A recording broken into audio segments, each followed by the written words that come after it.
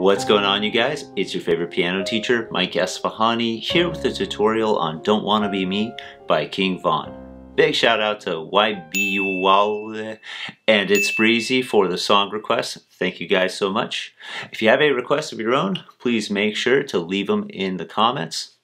Make sure to smash that like button, subscribe, and hit the bell to be notified of new videos.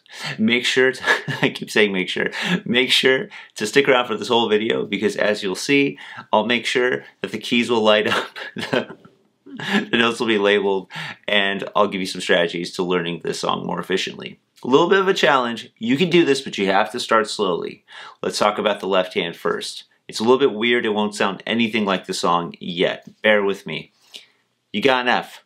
Octaves, two Fs at the same time, fingers five and one. Then jump up here. This is an A flat, finger number two, a G, and then an F. And then do that again.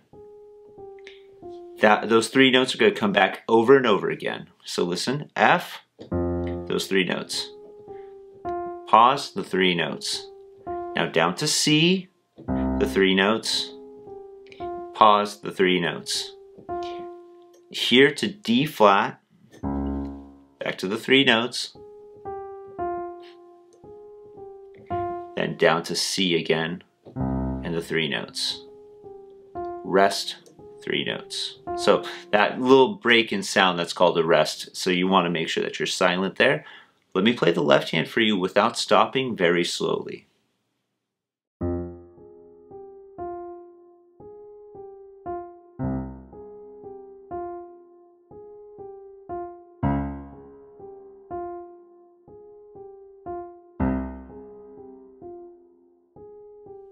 It's going to take a little bit of practice to make that leap, but you have to do it with your left hand alone because your right hand's got its own thing to do.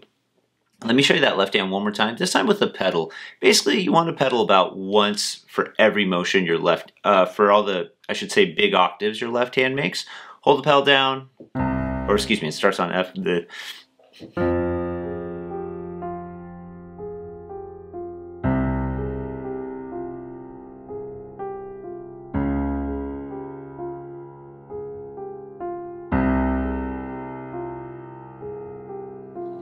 And one last thing too, if you can, it's very, very important that you give a little bit of emphasis, emphasis, can't talk, emphasis to the octave notes, but play those three notes that keep returning very softly.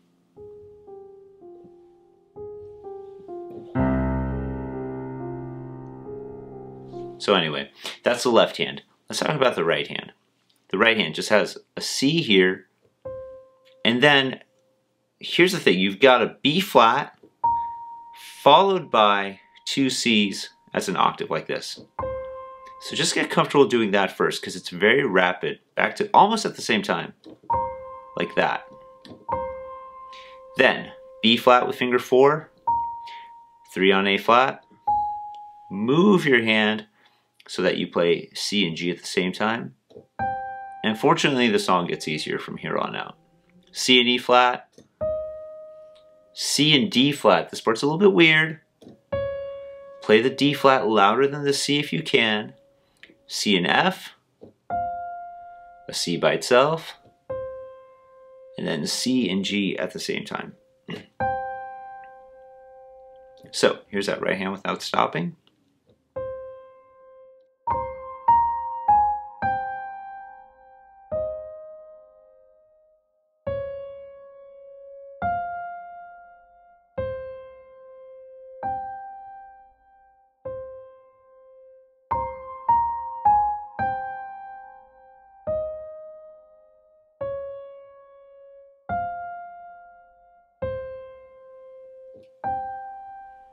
Okay, so now let's line it all up together. How does it go? Lining it up isn't so bad. Here we go. So, I'll go real slow.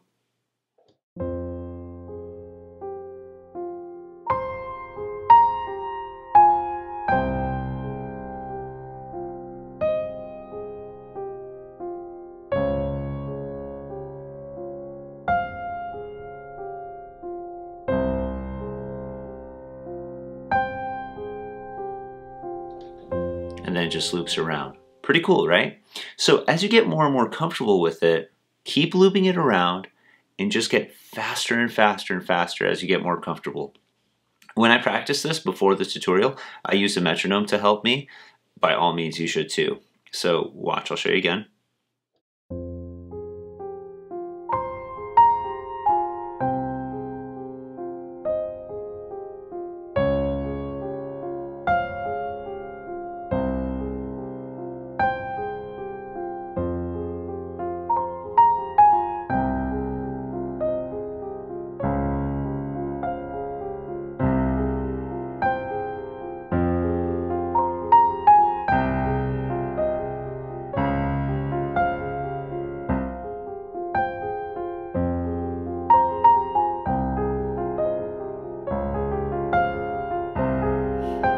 Getting a little bit sloppy here. But with practice, I promise you can pl play better, and I promise that you can play better than me too.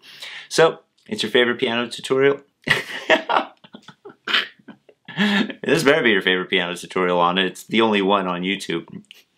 It's your favorite piano teacher. And I hope you enjoyed this tutorial. Signing off. Thanks, guys. Appreciate it.